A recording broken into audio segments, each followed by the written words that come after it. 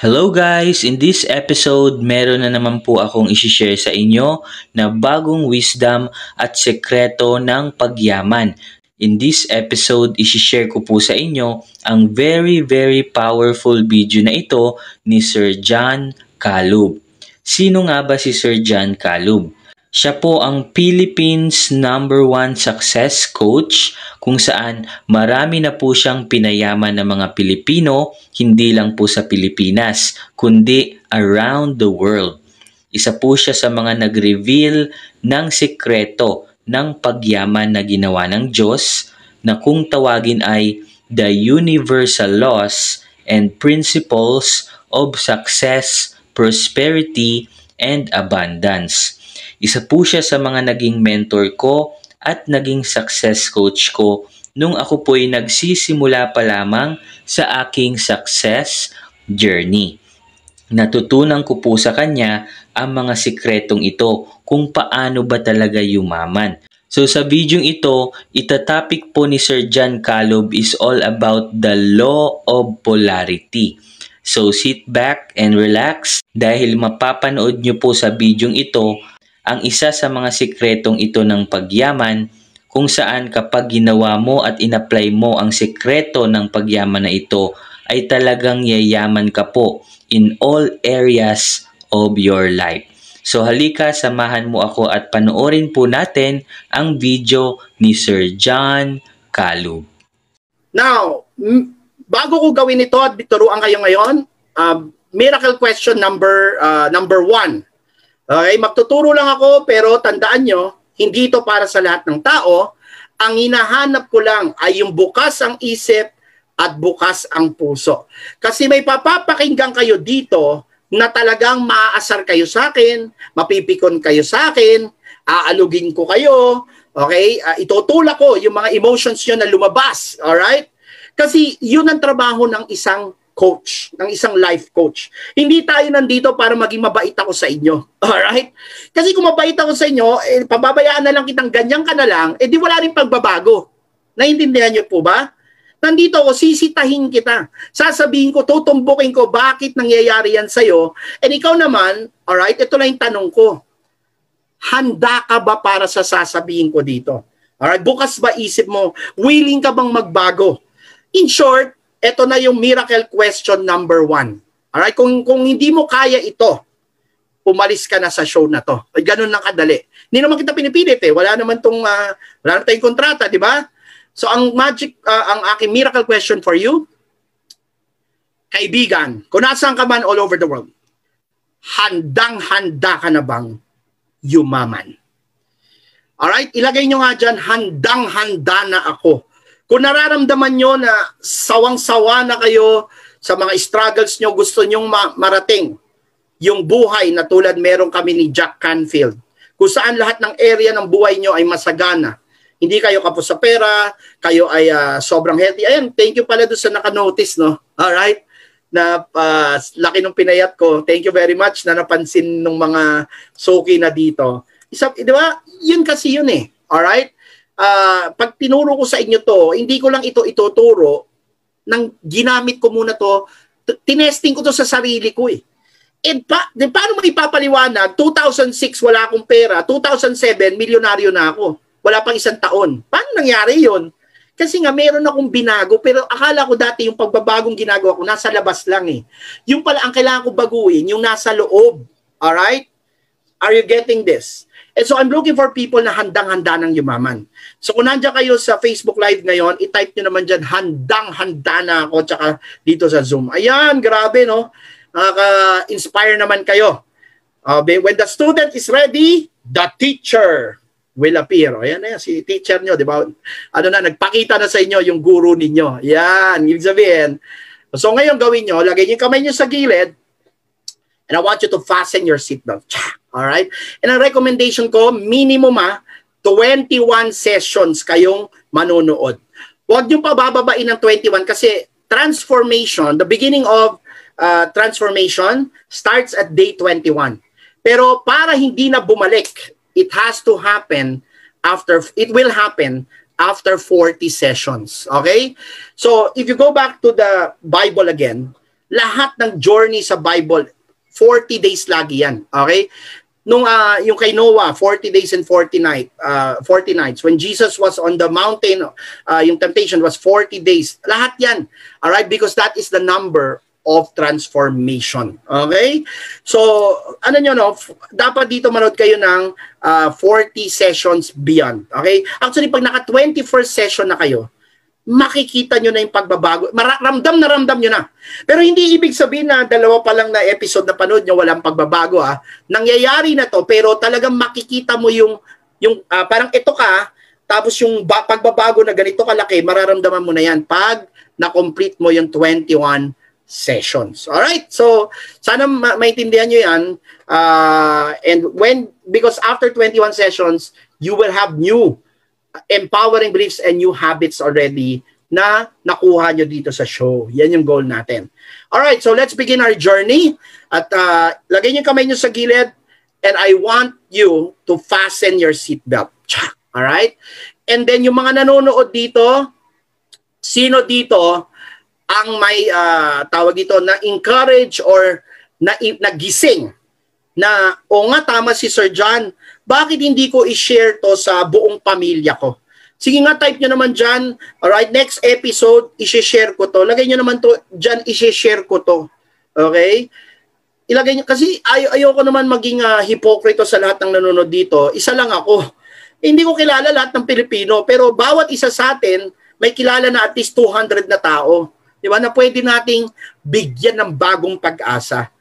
And if you feel this is going to help you or it's helping you, then wag natin ipagdamot. Di ba? Ano naman yung i-forward mo yung link, i-share mo sa Facebook, mag-watch party ka. Ganun lang naman po eh. Naka-online lang naman po tayo eh. Bago yung episode mangyari, lunes pa lang, dapat ito na yung bukang bibig mo. Ibig sabihin, alright, kasi ano yan eh, law of giving kung hindi mo kaya magbigay ng pera, magbigay ka ng blessing. And this show will be the blessing na pwede mong iregalo sa mga nangangailangan ngayon. All right? so with that, let's begin our journey together. All right. Now, ang una kong uh, ituturo sa inyo dito, we're going to talk about the universal laws of prosperity and abundance. And one of these laws is the law of polarity every episode pa ulit-ulit natin gagawin to. So, meron po kayong kailangan na gawin pag kayo nandito sa show ko. You will need a journal, a notebook. Teka lang, kunin ko yung journal ko, abutin ko lang para mabigyan ko kayo ng idea. Alright? Ito kasi, uh, tawag dito, uh, para alam nyo rin, nag, na ako mismo ay nagjo-journal. Ito nga, eh, bumili ako ng, kasi yung, yung isang journal ko medyo, ano na eh, gutay-gutay na eh. So bumili ako ng bagong journal. Ayan! Oh, di ba? Ganda ng journal ko. Gold na gold, oh. oh di ba? Ang ganda to nung nabili ko eh. Kasi tingnan nyo, may mga affirmation siya. Teka. Yeah, ay. Kita ba? Yan, oh, you are beautiful. Ah, di ba? Bawat page ko dito, merong magagandang salita ako na nababasa eh. Kaya nakaganahan ako magsulat. Ayan, di ba? So kailangan nyo ng uh, journal kasi ito yung gagamitin natin para yung uh, habang nagtuturo ako, nagno-notes kayo at ginagawa nyo ituturo ko. Ina-actionan nyo para hindi siya uh, labas-pasok lang sa tenga nyo. Nakuha ba na lahat? Alright, so, ang unang uh, gagawin natin, we're going to talk about the universal laws. And this is the laws of God. Nang ginawa ng Diyos ang entire universe, nilagyan niya ng batas, ng mga batas ng pagyaman. Ang tawag sa mga batas na to is the universal laws of prosperity and abundance. So dalawa lang ang kailangan mong gawin para yumaman. Know and understand these laws and number two, abide by these laws. Unfortunately, majority of us, all right, majority of all people around the world, whether Filipino or Amerikano, all right, hindi nila nire-recognize itong mga batas na to. Iniisang tabi nila. In fact, sa totoo lang, marami ay pasaway dito. So ngayon, kung maiintindihan mo to, kung iintindihin mo, bibigyan mo ng oras intindihin. At, di ba, aayunan mo. Ibig sabihin, hindi ka na magiging pasaway, di ba? Uh, gagawin mo yung batas. Magiging align ka sa mga batas na ito. Walang, eh, ang, ang mangyayari, walang makakapigil. Sa puntong ginagawa mo na siya, at uh, nag-a-abide ka na sa mga batas na to, ikaw ay patuloy na yayaman. Alright? Hindi ka na babalik sa pagiging kapos or hikahos. So sino dito gustong matutunan itong mga batas na ito? Alright? Sino gusto matuto nito? Lagay nyo naman dyan 22-22. Type nyo dyan 22-22. Alright. Now, dito tayo sa unang batas, it's called the law of polarity. Now, yung law of polarity, ang sinasabi lang ng batas na ito, okay, lahat ng, ng uh, nakikita natin sa universe, okay, lahat ng ginawa ng Diyos, uh, in the human eye, all right, in the low levels of consciousness, it is what? Okay? Pag mababa pa yung pag-iisip mo, it is polarized. When you say polarized, lahat ng bagay ay may opposite. Okay? Opposite. Ibig sabihin, kung merong up, merong down. Kung may left, merong right. Kung merong uh, hot, merong cold. Kung merong tall, may short. 'Di ba? May in, may out. May good, may bad. So lahat is polarized. Pero in the higher levels of consciousness, pag dumating na kayo sa third dimension and pataas, okay? Kung kung umakyat na yung level ng pag-iisip ninyo na meron na kayong millionaire mindset, ganun na lang natin ilagay. Alright, hindi po ito magkahiwalay. Hindi po siya polarized. Dahil bawat magkahiwalay, ang totoo niyan, ay iisa lang yan. Alright? Ulitin natin. Everything in the universe is only one. Okay, bakit? Gaano ka simpleng intindihin? Paano mo malalaman na matangkad yung isang tao kung hindi ka pa nakakita ng pandak? Paano mo malalaman na mainit ang kape na to kung hindi ka pa nakahawak ng malamig? Paano mo malalaman na sa in ka kung never ka pang nakapunta sa out? Di po ba? So they cannot be separate from one another. You will only have the wisdom, 'di ba? If you can uh, if you understand that they are, all right, only one. So ano po yung uh, gamit nito sa practical na buhay natin ng batas na to? Okay, punta tayo sa uh, tawag dito uh, success and failure for example, 'di ba? Ang tao gusto maging successful. Pero ang totoo niyan, 'di ba? Ang ano yung opposite ng success? Sige nga, type nyo nga dyan kung nakikinig kayo, anong opposite ng success? Sige nga, type nyo nga para alam ko naman nandito pa kayo. Ano yung, ayan, failure. Di ba? Tama ba? Oh, pero ito yun. Maraming gusto maging success. Pero ano sabi ko? Ang success at failure ay iisa lang. Walang makakarating doon pag hindi mo mararanasan ang failure. So sa moment na nag-decide ka na yumaman, Handa nyo na yung sarili nyo ha. Mabigat tong sasabihin ko. Ito ha.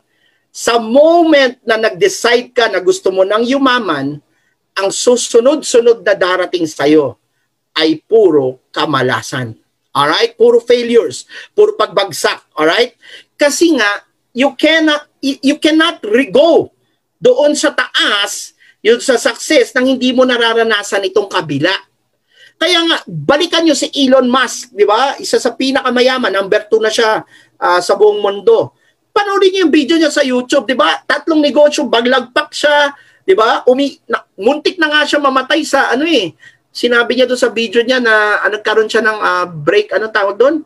Yung nag-breakdown siya dahil yung nalugi yung, yung isang negosyo niya, na nabaon siya sa laki ng pera na utang niya, na-stress siya ng sobra. Panoodin niyo, maiiyak, umiiyak siya noon eh, nung in-interview siya eh. Then ang tanong sa kanya nag-interview, ba't hindi ka, sumi- hindi ka tumigil? Alright? Ba't ayaw mo sumuko? Ngayon, meron ka na namang company, Tesla na naman. Sabi niya, ba't ako titigil? Di ba? Kasi nervous breakdown yung words na ginamit niya. Panoorin niyo yun, grabe maiiyak kayo. Ako naiyak talaga ako, napanood ko yun eh. Alright? Kasi nga, lahat ng tao gusto maging success, hindi nila alam na para makarating ka doon, alright, kailangan haharapin mo yung failure. Tatanggapin mo na dadaanan mo yan. Alright? Kasi nga, iisa lang yan. Alright. Now, punta naman, are you getting this? Are you getting uh, uh, enlightenment dito? Nagkakaroon ba ng liwanag sa inyo? Kaya nga sabi ko sa inyo eh, di ba? Ito, parang ganito na lang.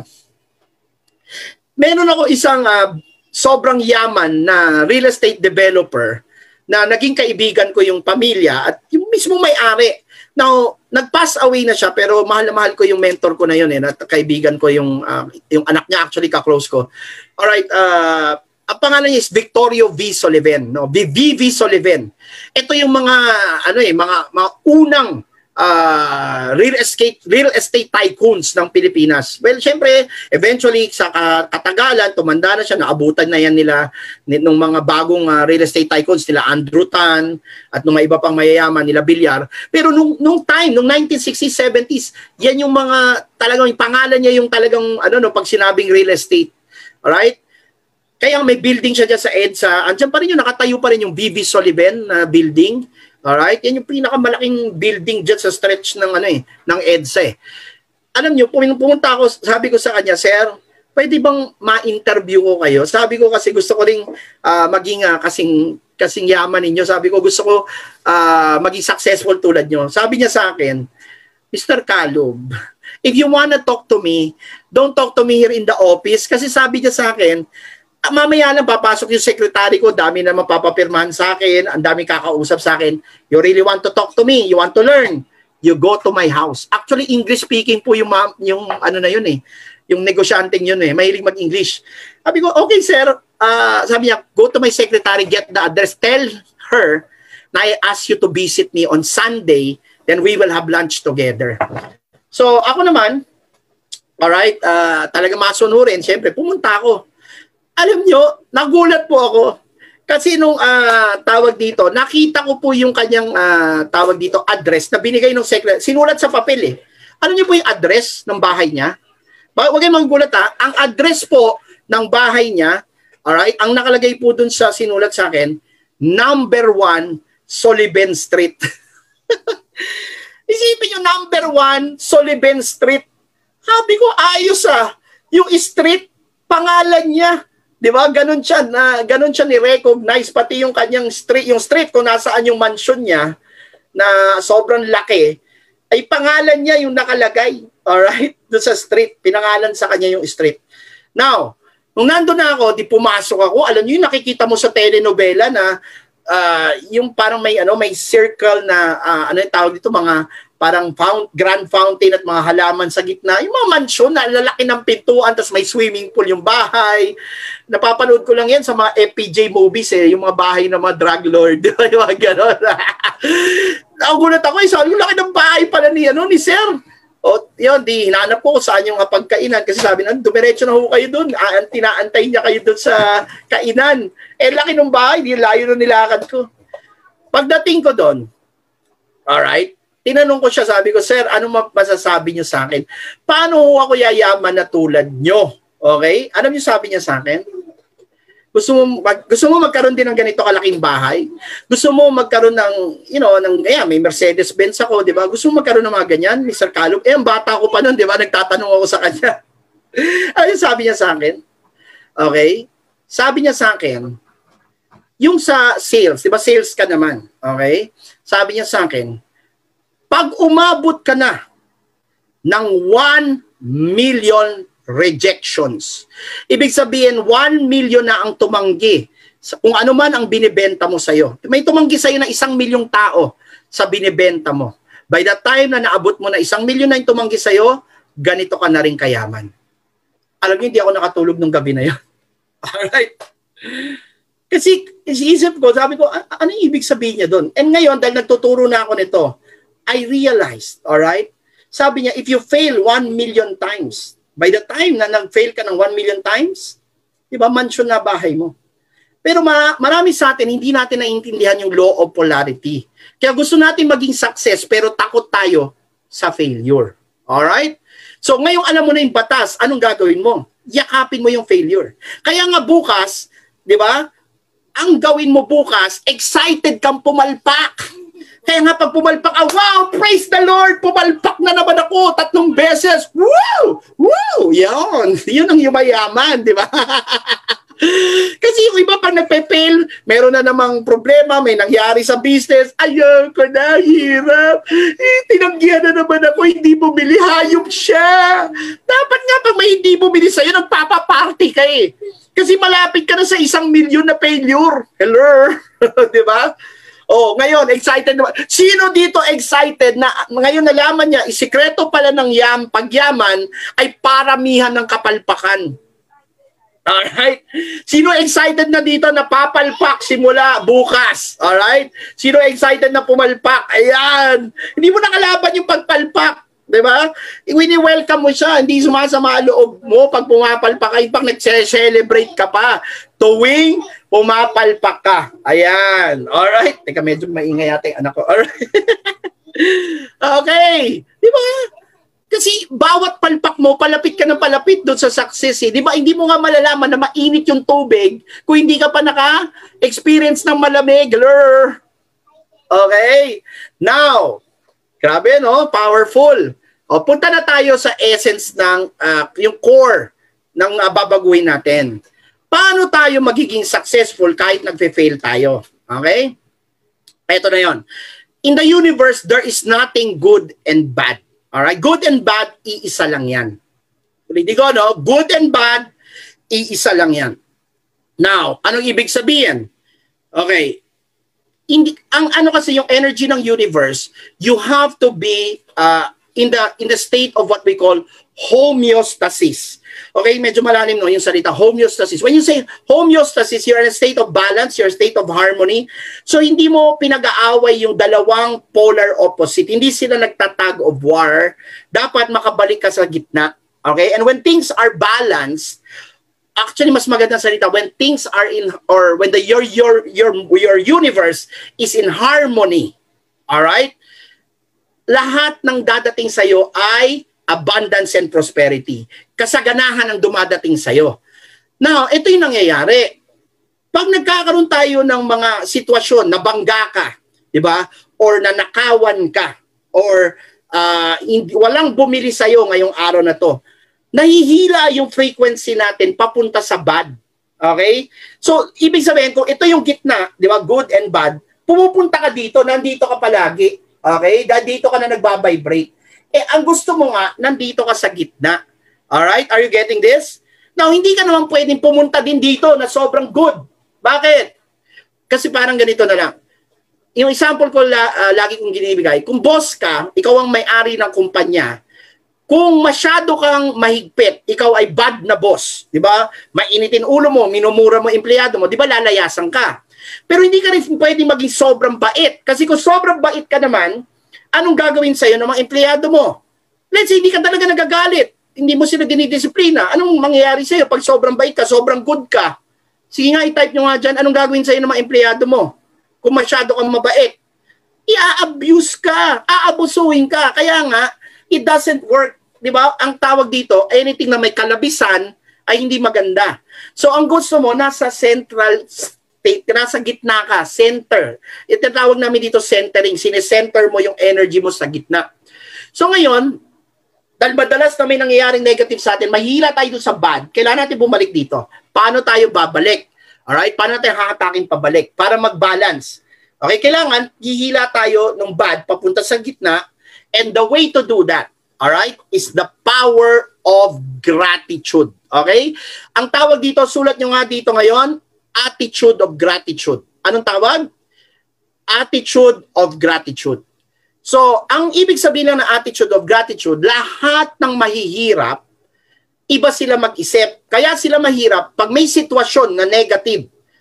Ang ginagawa nila lagi, nagko-complain, umiinit ang ulo, nagre-reklamo, nag-whine, di ba? Naninisi. Di ba? Yan yung ginagawa ng mahirap eh. Pero ang mayaman, iba yung ginagawa niya. Kaya siya yung mayaman, pag may nangyari, whether uh, good or bad yan, ang ginagawa niya, marunong siya magpasalamat. Gratitude. Attitude of gratitude. Nabunggo yung kotse mo. Lumabas ka ngayon. Ah, yung iba, anong ginagawa? Minumura niya yung nabung, nagbunggo sa kanya, di ba? Ah, ikaw, ayop ka. Nauna ako sa'yo eh. Tapos ikaw, sumingit ka pa rin. Pero yung mayaman, yung uh, yung talagang marunong ng mga batas na ito, ano sabi niya? Eh, headlight lang naman yung nabasag. Sige, okay na. Gusto mo, mag-usap na lang tayo ng ano. Aregloy na lang natin to. Wag na nating ano para matapos na. Ano na kung ano iabot kaya mo, tapos hulugan mo na lang sa akin. Kalmado lang siya. Alright? Are you following? Kasi at that point, ang ginagawa niya, attitude of gratitude, thank you Lord, hindi ako namatay. Thank you, headlight ko lang yung nabasag. Thank you, di ba, na hindi ako napilayan. Are you following? So, kung gusto nyo yumaman, the first thing na kailangan nyong baguhin in your mindset and heart set, you have to develop an attitude of gratitude. Okay? And so, anong gamit ng notebook natin? Buksan ang notebook, dito sa kaliwa, bago matulog, lagi tayo magsusulat ng, ng limang bagay na pinagpapasalamat natin sa araw na isinabuhay natin. So for example, ngayon, mamayang gabi, pag matutulog na kayo, kunin yung notebook nyo, ano ba pwede ko ipagpasalamat ngayong araw na to? Oh, like for example, ako kanina, all right, uh, nakapag uh, nakapag-jogging ako kanina na tumigil yung ulan. Oh, di very thankful ako kasi umuulan eh. Pero pag nung pagbaba ko at nag-jogging na ako to sa jogging path, all right, bigla tumigil yung ulan. Oh, is that something na pwede ako magpasalamat? So susulat ko 'yan. Now, remember this ito na yung power ng polarity. Whatever you focus on, always expands. So, pag nag-focus ka sa pagre-reklamo, buwisit naman, oh, nakakainis, umuulan, lalong lalakas yung ulan. Pero dahil nagpasalamat ka sa sitwasyon na, ah, wow, naka, pwede pa rin pala ako mag-jogging dahil may part ng lakaran na may bubong, dito na lang ako mag-jogging, titigil yung ulan. Are you following? Kasi yung iniisip mo, what you focus on will expand. So, kung let's say, uh, nagpasalamat ka dahil nakabenta ka ng isa. Okay? Imbis na magreklamo. Yung iba kasi, bad trip naman, oh, isa lang nabenta ko. Eh, hindi ka na makakabenta. Pero pag sinabi mo, thank you Lord, nakabenta ako ng isa. Alright? Sa linggo na yan na nagpasalamat ka, padadalang ka ng sampu hanggang isang daan na benta. Pero unfortunately, in the entire planet Earth, konti na lang ang marunong magpasalamat. Sorry, uh, sad to say, pansinin nyo Lalo na dito sa Pilipinas, uh, 'di ba? Meron tayong crab mentality. Ay grabe, mga tao uh, they're always uh, looking at the negative. So again, go back to a state of gratitude. Now, now given this, okay, ito yung gagawin natin ngayon. I want you to get your notebook tapos magsusulat tayo ng limang pagpapasalamat natin. Sa ngayong araw na to, ano yung pag pwede yung pagpasalamat? Then sa kanan naman, yung wala pa sa'yo, ipagpapasalamat mo in advance. Alright? So, ano yung wala pa sa'yo, ipagpasalamat mo in advance. So, uh, for example, gusto mo magkaroon ng 100,000. Lagay mo na doon. Thank you, Lord, for giving me 100,000. Uh, for example, uh, gusto mo magkaroon ng uh, brand new na sasakyan. Thank you, Lord, for my brand new Toyota Fortuner. Kasi sabi na, di ba, what you focus on will expand. E ngayon, pag pinagpasalamat mo na, yung wala pa sa'yo, okay?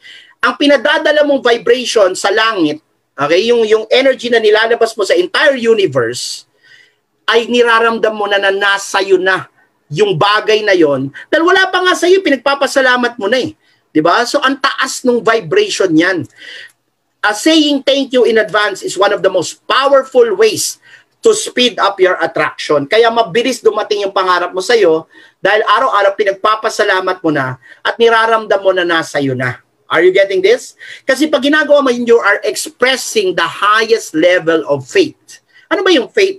Believing in things that I, you have not seen. Di ba? Hindi mo pa nakikita, pero di ba pinagpapasalamat mo na eh. So parang nasa iyo na eh. Thank you Lord for the uh, what do you call this? Thank you for the uh, the brand new uh, for example microwave oven or washing machine o kung ano man 'yan. Okay? Okay, kasi dito, ma- maliit man na resulta or malaking resulta, okay, I want you to put it in your journal. So, hindi porket maliit lang, hindi nyo isasama. Na kung meron namang malalaki, yung tinatawag na miraculous uh, events or uh, miraculous uh, blessings, ipagpasalamat yan. Para for example, kumita ka ng 100,000 or 300,000, lagay mo dyan. Para next time, ang ibibigay sa'yo, 3 million na, hindi lang 300,000 at susundan ba ng lahat? Okay?